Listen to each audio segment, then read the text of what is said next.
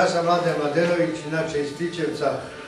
Rodao sam ovdje, bio sam 40, preko 40 godina u Austriji, radio sam, sad sam u penziji, vratio se nazad i tako sam došao do neke lude ideje u saradnji sa ovim penzionerima dakle, iz sela, dogovorili smo se i eto,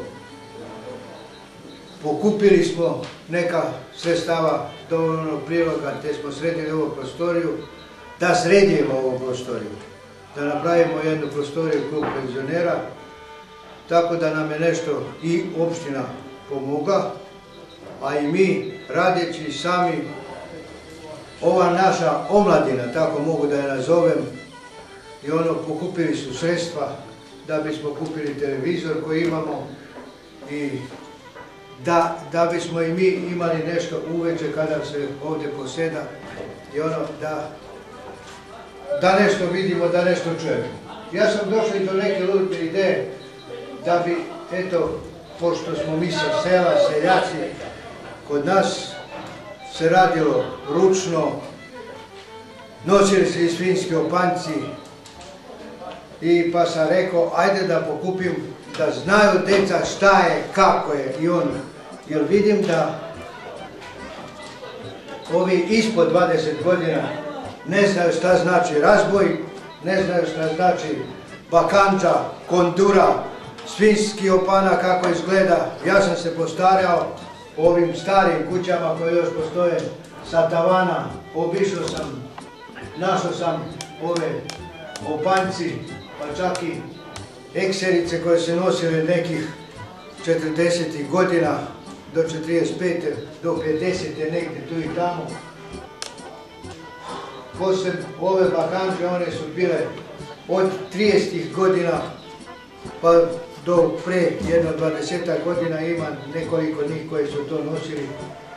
I eto tako, uz pomoć mojih drugova i prijatelja, tako mogu da je nazovem, članova ovog kluba koji imamo 57 člana. Nažalost, tri su nas napustili. I ono, Milošević, Bilić i još jedan mlad koji nije trebao da Mirko naš, ali šta ćemo? Bog nas svoje, mi radimo naše. Šta znam još da vam pričam? Trudimo se da, da sve bude onako u najboljem redu, da imamo gdje da se sastajemo, jer ni to, kako vidim, nema druge, druge zabave i mi smo čuli da je proslavili 8. marta ovdje. A, slavili smo 8. marta ženama, to je bila isto moja ideja.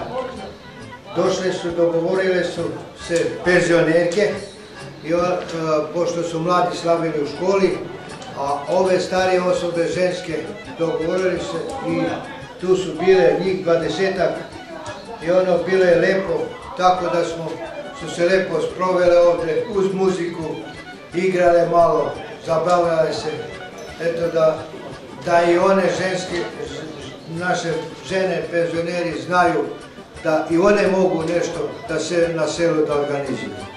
Ja mislim da je ovo e, prvi e, etno klub u opštini.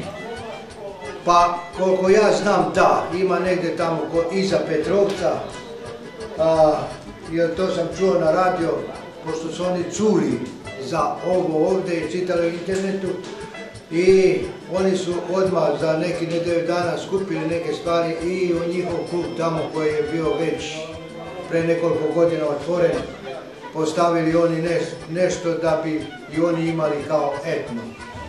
Hvala vam na internetu.